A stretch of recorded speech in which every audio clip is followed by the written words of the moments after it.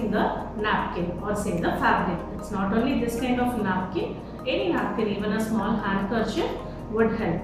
So I have taken a napkin, a cloth napkin over here.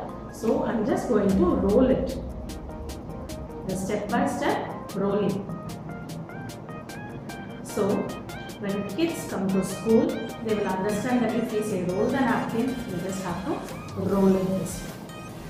So this is one activity for the fine motor development and once this is done, you can tell them how to fold the napkin. That they have to hold the edges of the napkin, fold it and then flatten it with their palms.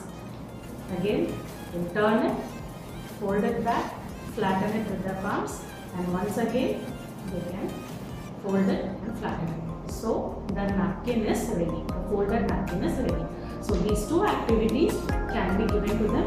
It is a life skill activity also which is very much used in our day-to-day life. Thank you.